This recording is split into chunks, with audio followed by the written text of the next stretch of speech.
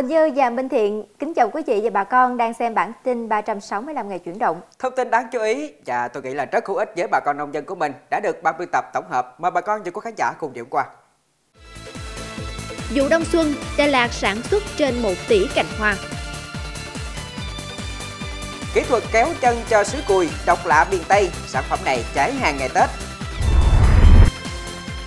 Tỉnh Con Tum chính thức bán sản phẩm từ sông Ngọc Linh ra thị trường cùng với giải pháp ngành chức năng bảo vệ thương hiệu sâm hiện nay. Cà rốt kén đất khó trồng đại trà, nhưng nông dân huyện Đơn Dương có thể trồng được quanh năm trên vùng đất đỏ.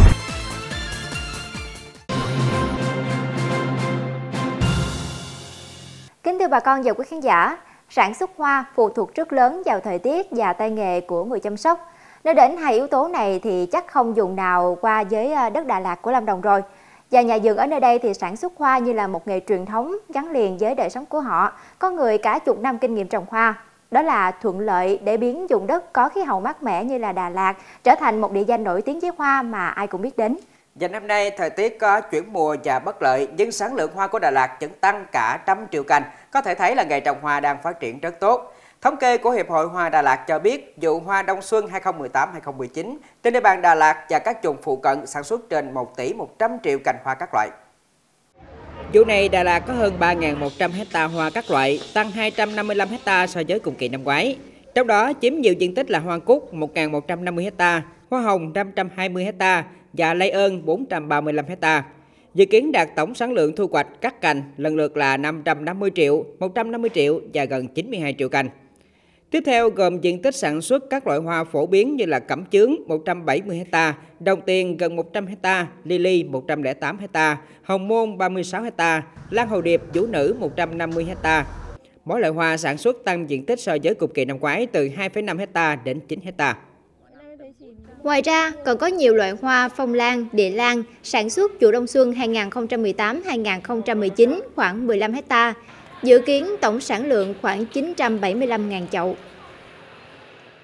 Thưa bà con và quý khán giả, không chỉ là sứ hồng truyền thống, hiện nay thị trường hoa kiển có rất nhiều loại sứ mới thu hút giới mê hoa như là sứ thái nhiều màu chẳng hạn. Nhưng mà sứ chân dài thì độc nhất vô nhị chỉ có miền Tây mới có thôi. Đây là một kỹ thuật rất riêng, rất độc đáo của anh Trần Duy Phong tại thành phố Sa Đéc, tỉnh Đồng Tháp. Anh có thể kéo chân cho sứ dài tùy theo ý muốn của mình. Rõ ràng là khi so sánh giữa cây sứ truyền thống và cây sứ đã kéo chân dài như thế này thì sẽ thấy được sự mỹ miều của nó sau khi đã tạo tác, đúng không ạ? À? Dân thưa quý khán giả nên ờ, mới nói là yếu tố trở nên độc lạ gây được nhiều sự thú vị cho nhiều người và họ đã sẵn sàng bỏ ra hàng chục triệu để sở hữu những cây sứ ưng ý. Hiện thì giá sứ chân dài được anh Phong bán dao động từ 500 ngàn cho đến ờ, hơn 20 triệu đồng một cây. Đặc biệt với những cây sứ có thế độc giá lên tới 30 đến 40 triệu đồng. Anh Phong cho biết sứ chân dài có nguồn gốc Thái Lan, việc kéo chân sứ có thể mất 2 đến 4 năm. Ngoài sứ chân dài thì vườn anh Phong còn có sứ rễ xòe, sứ bonsai. Giá mỗi chậu sứ loại này cũng dao động từ vài trăm ngàn đồng đến vài chục triệu đồng. Có chậu hơn chục năm tuổi, giá cũng lên đến hơn 30 triệu đồng. Từ một vùng trồng hoa nhỏ lẻ chỉ dài hộ bán sản phẩm từng chậu thô sơ thì bây giờ đến giới làng hoa Sa Đéc của Đồng Tháp nơi được mệnh danh là thành phố Đà Lạt thứ hai, nhiều người sẽ cảm nhận được sự khác biệt. Cái cách khác biệt là cách bố trí hoa, diện tích tăng lên. Nhà vườn còn mạnh dạng mang những giống mới độc lạ vào canh tác nữa. Và nhờ chính sự đầu tư này mà nghề trồng hoa đã phát triển rất mạnh. Nhà vườn kết hợp làm du lịch mang về thu nhập cao, đồng thời đóng góp vào quá trình đô thị hóa của địa phương. Dịp Tết dương lịch vừa qua, du khách đến với làng hoa Sa Đéc đã bắt đầu phải trả phí tham quan tại một số khu vực cho nông dân đầu tư. Việc thu phí đã không làm giảm lượng khách tới đây mà đa phần du khách còn cho rằng mức thu đang được áp dụng là hợp lý. Bởi các chủ điểm tham quan đã có sự đầu tư công phu, phục vụ tốt hơn nhu cầu tham quan của du khách. Sau đây là ghi nhận từ cộng tác viên gửi về cho chúng tôi. Theo chủ vườn hoa Hai Cao tại làng hoa Sa Đéc cho biết, đã đầu tư 300 triệu đồng, xây hai cây cầu và rất nhiều cụm tiểu cảnh ấn tượng, tăng cường thêm giống hoa mới đẹp để phục vụ khách tham quan tại cánh đồng hoa 5,7 hecta. Nhiều đoàn khách vì vậy rất vui lòng khi trả 10.000 đồng một người để mua vé vào vườn tham quan. Ấn tượng nhất là đài ngắm hoa cao 18 m với kinh phí xây dựng hơn 1 tỷ đồng. Giá vé ở đây là 5.000 đồng khi vào cổng và 20.000 đồng cho một lượt lên đài ngắm hoa. Thu vé, chừng khách vẫn hài lòng đến làng hoa ngày càng đông, cho thấy việc đầu tư công phu từ giống hoa chất lượng đến công nghệ và hình thức làm du lịch lạ ở miền Tây đã làm nghề trồng hoa của nông dân thêm phần thú vị. Người dân phấn khởi kết hợp làm du lịch ngày càng thuần thục hơn. Tỉnh Lâm Đồng không phải thế mạnh là cây lúa, tuy nhiên ở vùng Cát Tiên cây lúa cũng được đầu tư vì hợp thổ nhưỡng. Vậy nên thông tin giá lúa gạo biến động hay không thì bà con cũng rất là quan tâm. Nhìn vào à, giá lúa vụ đông xuân 2018-2019 tại các tỉnh đồng bằng sông Cửu Long đã phản ảnh thị trường gạo xuất khẩu vẫn khá tốt trong thời gian tới. Vụ này dùng xuống giống 1 triệu 465 ngàn hecta. Nông dân đã thu hoạch gần 27 ngàn hecta với niềm vui được mùa được giá. Chính điều này đã tạo phấn khởi để sản xuất vụ mùa tiếp theo, đặc biệt là có tiền ăn Tết. Mặc dù chưa vào thời điểm chính vụ, thương lái đến tận ruộng mua lúa tươi với giá từ 5.200 đến 7.200 một ký tùy giống lúa. Cụ thể, lúa RVT đang ở mức từ 6.000 đến 7.200 một ký. Lúa đài thơm 8, thương lái đang mua với giá từ 6.000 đến 6.200 một ký. Jasmine 85 OM 5451 giá động từ 5.400 đến 5.900 một ký. IR 50404 được thương lái cân tại ruộng ở mức 5.200 đến 5.400 một ký, tùy ruộng xa hay gần. Với mức giá này, bình quân mỗi công lúa nông dân lợi thấp nhất là 2 triệu 500 ngàn đồng một công. Thị trường lúa gạo khó đoán định, nhưng nông dân hy vọng giá lúa gạo ổn định để có lời nhiều hơn trong vụ đông xuân này. Giá lúa tốt lên nhờ tín hiệu xuất khẩu gạo của nước ta đã có sự cải thiện. Năm 2018 xuất khẩu 6 triệu 500 ngàn tấn, thu về hơn 3 tỷ đô la Mỹ. Đây là tín hiệu tốt cho những năm kế tiếp. Yếu tố thắng lợi là do nông dân sản xuất các giống lúa chất lượng phù hợp với nhu cầu xuất khẩu. Sự liên kết sản xuất cũng đã được thực hiện chặt chẽ. Việc tạo dựng thương hiệu hạt gạo được chú trọng. Ở huyện Cát Tiên Lâm Đồng cũng đã xây dựng nhãn hiệu tập thể lúa gạo Cát Tiên trở thành một thương hiệu mạnh có uy tín trên thị trường.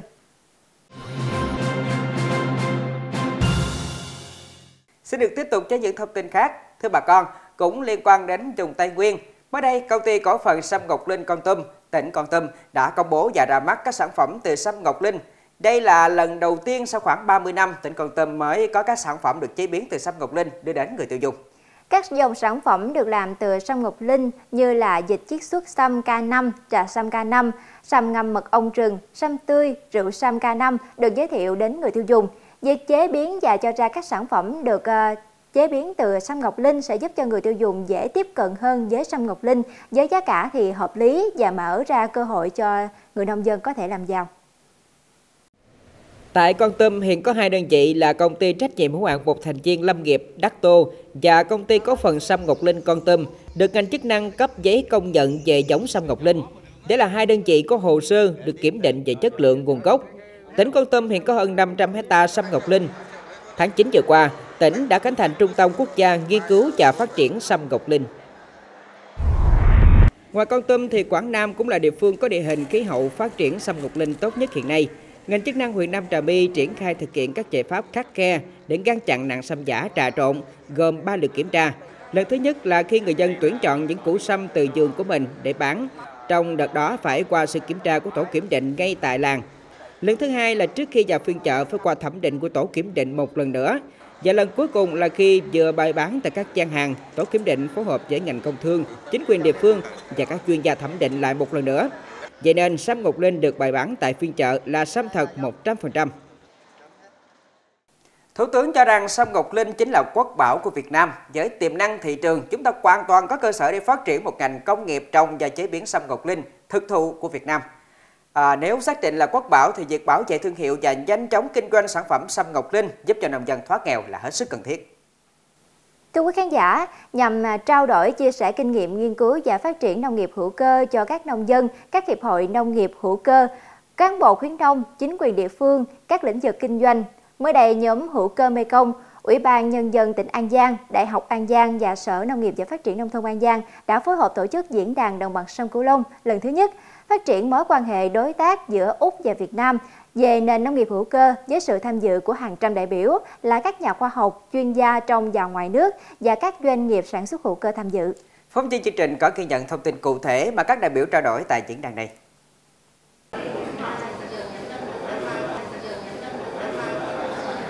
Thưa quý vị và các bạn, đây là những cái sản phẩm được sản xuất theo quy trình hữu cơ, đảm bảo an toàn vệ sinh thực phẩm được các cái doanh nghiệp hàng đầu ở đồng bằng sông Cửu Long mang đến trưng bày à, tại hội nghị. Và như bên đây thưa quý vị và các bạn có thể thấy một cây bắp cải trắng được sản xuất từ nông trại ếch ợp ở An Giang. Và trên lá của nó thì có gắn cái mã code. Và với những chiếc điện thoại như thế này có cài đặt phần mềm quét mã code thì quý vị và các bạn có thể tra cứu được thông tin nguồn gốc xuất xứ sản phẩm. Với phương châm tổ chức sản xuất theo chuỗi giá trị, đẩy mạnh ứng dụng khoa học công nghệ vào sản xuất nhằm tạo ra sản phẩm sạch đáp ứng nhu cầu thị trường.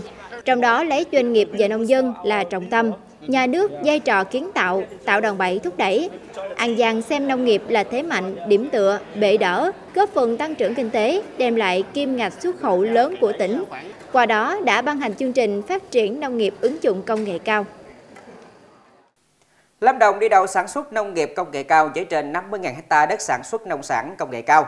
Trong đó, huyện Bảo Lâm đã có 6.000 ha cây cà phê với 3.850 ha, chè là 1.500 ha, rau hoa 200 ha và cây ăn quả là 450 ha. Hiện thì huyện Bảo Lâm đang xây dựng hai vùng sản xuất nông nghiệp ứng dụng công nghệ cao với diện tích là 300 ha một vùng, gồm vùng sản xuất cà phê được quy hoạch tại xã Lộc Đức và vùng sản xuất chè được quy hoạch tại thị trấn Lộc Thắng. Bên cạnh đó thì hiện tại một số mô hình sản xuất nông nghiệp ứng dụng công nghệ cao như trồng hoa, trồng ớt trong nhà kính, trồng rau thủy canh, trồng bơ giống ngoại, trồng sầu riêng và một số mô hình chăn nuôi như là chim yến, nuôi heo nhà lạnh, nuôi gà sinh học đã mang lại hiệu quả kinh tế cao và đang được tiếp tục nhân rộng.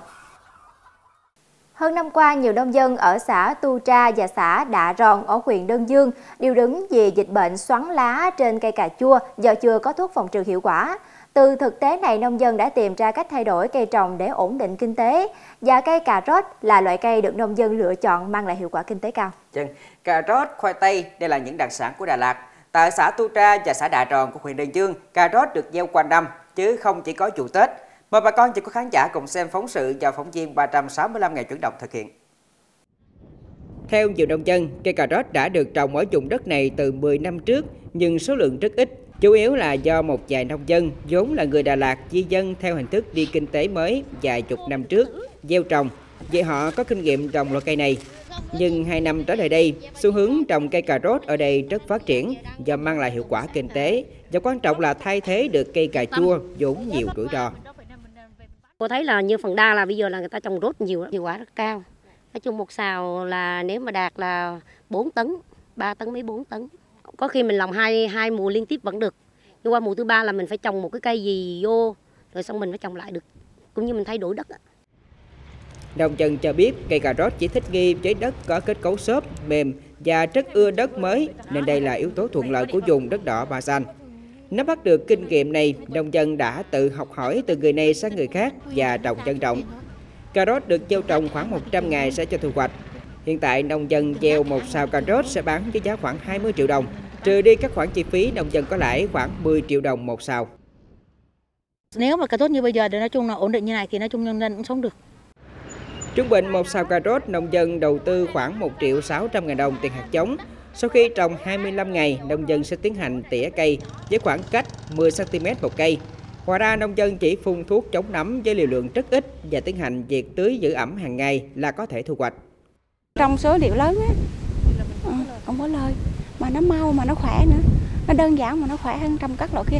Mà cái này bơm thuốc nó cũng sướng. Nó vừa với cái mặt đất này bơm thuốc sướng. Còn ví dụ như cà như các loại hàng cao thì mình bơm cao là nó độc hại đến có thể.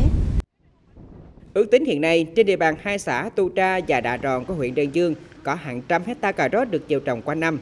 Nông dân cho biết sở dĩ giá cà rốt ít biến động là do loại cây này kén đất, không thể trồng đại trà và trồng liên tục hai vụ trên cùng một mảnh đất nên những hộ nhiều đất mới có thể luân canh cây trồng này. Thêm vào đó, hiện nay ở thành phố Đà Lạt, nơi trước đây chuyên trồng cà rốt nay đã giảm diện tích do nông dân chuyển sang làm nhà kính và lưới và dùng trồng cà rốt lớn ở Lâm Đồng được dịch chuyển về Đơn Dương. Huyện Đơn Dương là vùng trồng cà rốt lớn nhất của tỉnh Lâm Đồng để tránh bị làm giả, làm nhái cho hàng Trung Quốc và các vùng khác trà trộn vào. Thì cùng với khoai tây, địa phương cũng tính đến việc dán tem nhãn khẳng định thương hiệu cà rốt của nông dân. Chúng tôi xin kết thúc bản tin 365 ngày chuyển động tại đây. Nếu bà con nào có ý kiến phản hồi về chương trình hoặc là muốn tìm kiếm các cây con giống mới, mô hình hay, liên lạc với chúng tôi qua địa chỉ đang hiển thị ở trên màn hình. Kính chào tạm biệt và hẹn gặp lại.